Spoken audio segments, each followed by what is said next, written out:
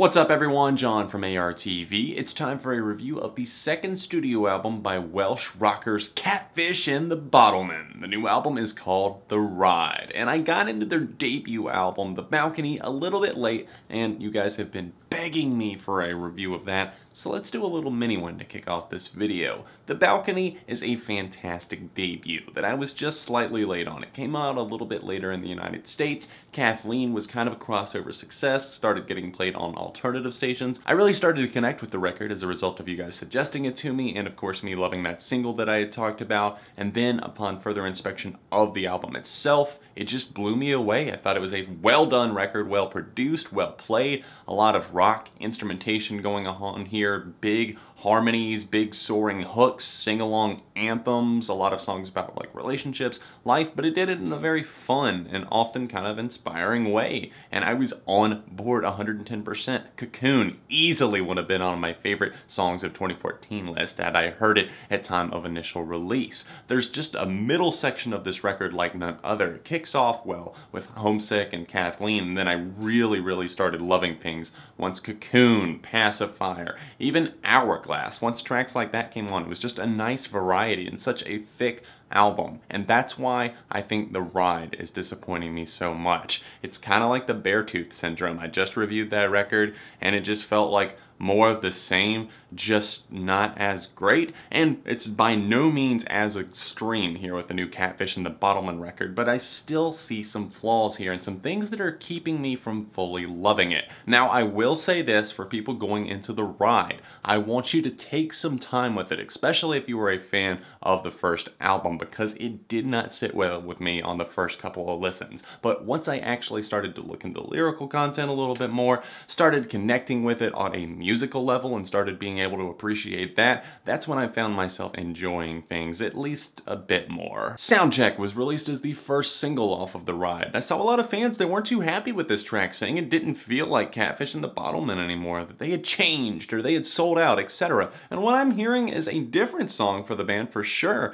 but that's what I want from them. I want them to still sound like them, be able to go forward in this rock direction, but do new things. And they did that with Sound. I think it's got a great guitar tone on it. I'm loving the howling guitars, especially once we get to the bridge and the solo of this track. And the chorus sticks like glue. It's talking about being infatuated with someone, but not really like wanting to admit that, kind of playing it off. In fact, there's several other songs on this record that deal with similar topics, and it does get a little bit dry after a while, but I feel like tracks like Postpone, and of course Twice as well, which really strikes as one of the best cuts on the LP, are moments that stand above, maybe dealing with similar themes of relationships, love, figuring things out, but they manage to rise above and not just stand there in the middle of the road like some of these moments do, unfortunately. When people ask me to put a finger on exactly why I don't like this record as much, what's so particularly incriminating, what makes this one bad compared to The Balcony, I don't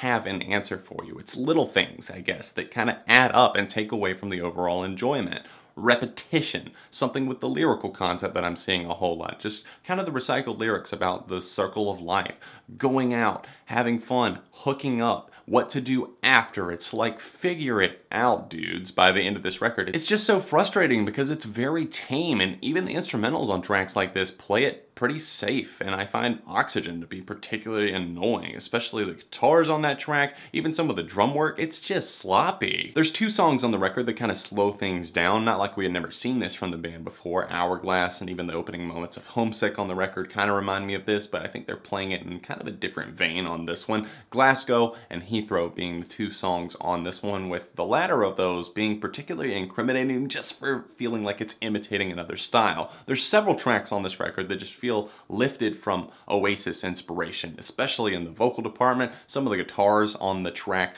Heathrow in particular, just really caught me off guard and I was like, wait, who am I listening to again? Pushing that aside, I actually do enjoy moments of those tracks. Glasgow in particular, I enjoy that one. It's just a story that feels like he's in this moment. He doesn't know what to do, how to handle this girl, and I do like a good chunk of this record. I think you guys might be getting the wrong impression due to my comments at the beginning of this review. You're probably thinking I'm smothering them with criticism, but I just wanted to get that out of the way first, then I can get to the stuff that I actually do like. I already mentioned a couple of the tracks that I wanted to highlight. In fact, Soundcheck was great, and of course, Twice, that hard-hitting single. I love the kind of restraint, the build-up, and then the guitars, just a big strike there. And the opening moment, Seven, kind of talking about this long-distance thing, saying, oh, you know, I forget that we're in different time zones, seven-hour difference. And that one just kind of has a pummeling start to the record and really got me excited for what was to come. Red has a really solid chorus to it. I love the backing ah,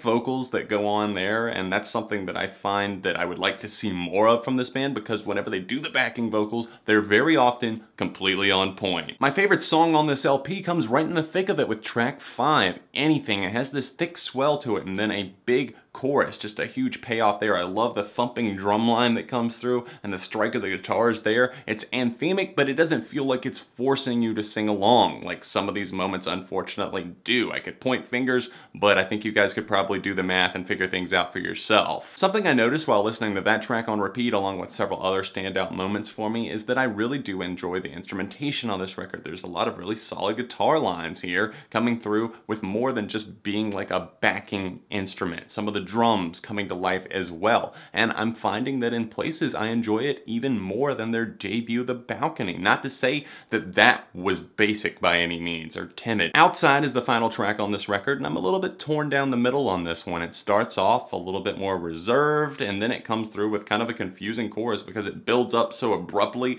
and then it kind of fades back into a little bit more of a dark laid back vibe referencing the title of the album The Ride and Life. I kind of get that and what what it's trying to do lyrically, and then it molds into this kind of guitar outro, and then it just shuts off. And it's just kind of a baffling moment. And I'm thinking, well, this has to be the official release because I'm listening to it on Apple Music. I know it's just not a bad rip or something like that.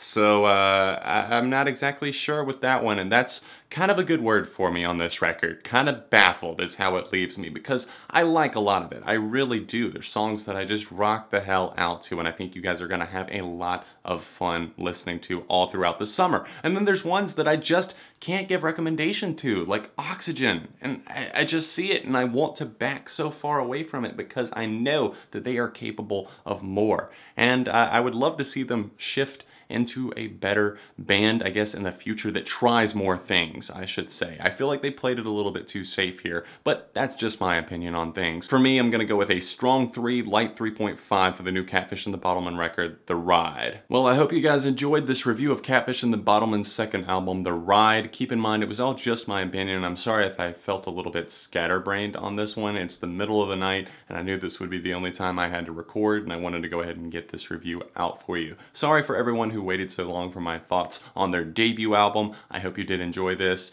and uh, hit the like button on it. Subscribe to the channel because friends don't let friends go unsubscribed. You can check out the last review that I did or another album that you might like by clicking those annotations there or you can check me out on social media at the links in the description down below. If you're curious, you can support me on Patreon to help the videos keep coming. That's the top link down there. Other than that, I will see you guys very soon right here on ARTV.